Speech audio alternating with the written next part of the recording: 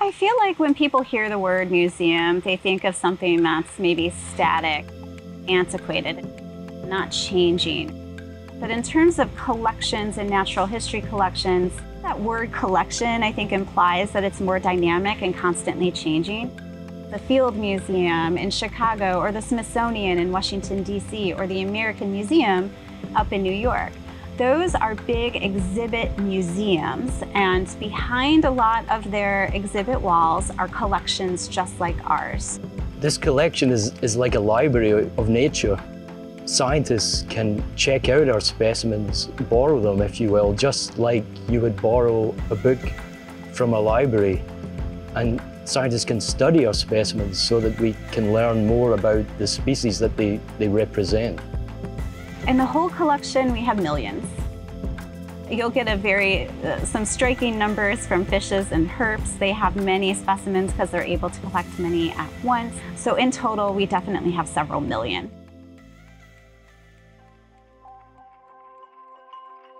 The collections last forever. There's great responsibility with that. So every single aspect of curation uh, involves a long legacy of about 300 years of how to take care of this material so that it lasts forever. Every bit of thread, every type of ink, every type of paper, every the jars, the lids that go on the jars, everything is planned and thought out so that so that the collections are secure. These collections are used on a regular basis by anthropologists all the way to zoologists and zookeepers. We've been able to generate 3D datasets of hundreds of specimens. These datasets are available online. Anyone in the world can access them as long as they have a computer and access to the internet. It's not only scientific researchers that are examining our, our specimens,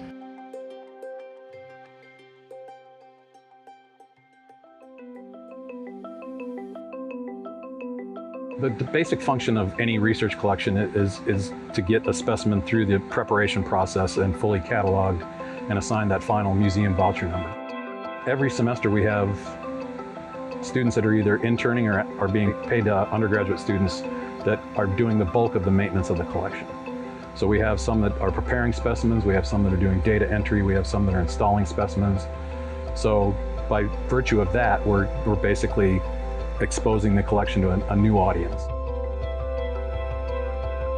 Students can kind of be the livelihood of this place because it's a big collection for each curator, so students can help out a lot in managing that and, and organizing it. I never even thought of museum curation as an option for me as a career, but with this opportunity from just volunteering, I was able to open my own doors in a way. I chose this this path, this conservation path, when I was very, very young. So I, it's never been a second thought for me. Even though it's not direct and dirty work, it's still important and it holds value for conservation. I, I do this for a purpose. I do this for the animals, for preserving the natural world, and everything I do serves that goal in some way.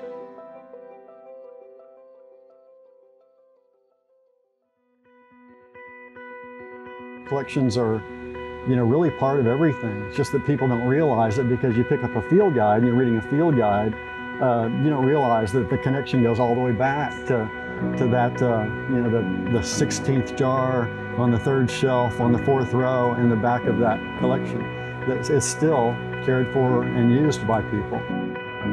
Every time you open a case, you see something new, and I wish I could spend all day, every day out here. It's, it's a lot of fun to make new discoveries um, using specimens in natural history collections, and that can happen hourly, if not more frequent than that, depending on how close you look at the specimens and their data. It's important to keep growing these collections because we can find out more information. As people figure out new lines of research, we can disseminate more of that material from a given specimen to more researchers than we've been able to in the past. The importance of the collection just keeps increasing because um, these specimens are so valuable and we have no idea what uses people are going to think of for the collection in the future. We just know they're going to keep thinking of, of more, more and better uses for the collection to document uh, all these changes that are happening, you know, across the planet and across Texas.